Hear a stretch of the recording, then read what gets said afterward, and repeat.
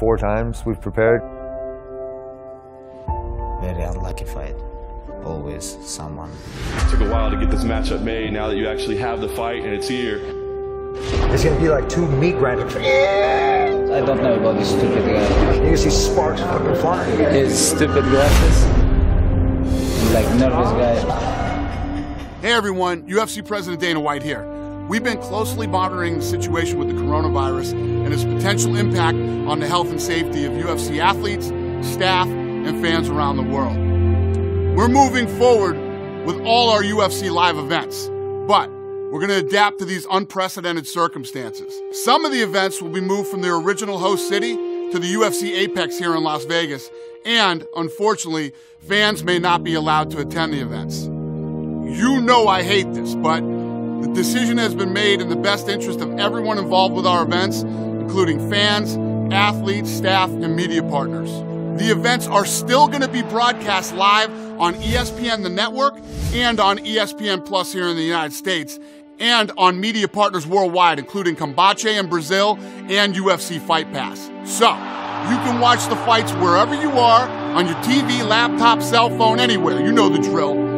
And fans who had tickets to the event can get a full refund at the point of purchase. This is a very tough situation that is constantly evolving, so we will keep you updated as best we can. We greatly appreciate your understanding and your continued support. Thank you guys very much. The way that you can gauge how big and how meaningful a fight really is is through the fans. The fans are going crazy for this fight. Earlier in the week said that you don't actually enjoy fighting and your victory dance is a bag of M&Ms and a can of Coke. How important is it for this fight to happen finally? My next opponent is very good steak with burger double cheese. After an epic war, yes mate, yeah, get in. Coca-Cola with ice and some steaks with burgers, you know. You got two guys that are going inside that octagon with, with pure fighter spirit and pure fighter blood. And we're gonna come out of here and one of us is gonna have our hands raised. This is the interesting one, the people's main event. It's Tony Ferguson and Khabib Nurmagomedov facing off. Ladies and gentlemen, the doctor has called a stop to this contest. An unfortunate end to the fight, but a spectacular performance. Here are some facts that were true. I humbly couldn't finish the fight, and I apologize. It's not the finish you were looking for, but a finish all the same. Kamaru Usman and Henry Cejudo hadn't even made their pro debuts yet. Tiramisu and the Epic Nuggets, these guys have no balls. The only person that won a sign on dotted line was Cowboy. Anderson Silva and GSP were champions. My father said his dream fight me versus George Sinclair. Women hadn't fought yet in the UFC when this guy lost last time.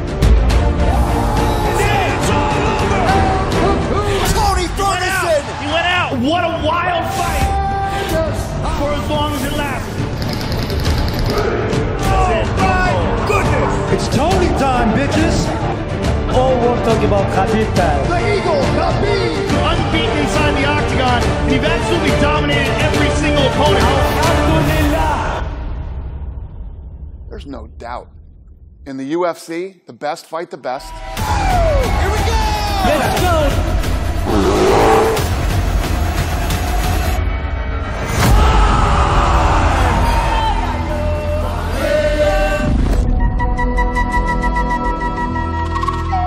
We're planning on submitting him. That's the plan.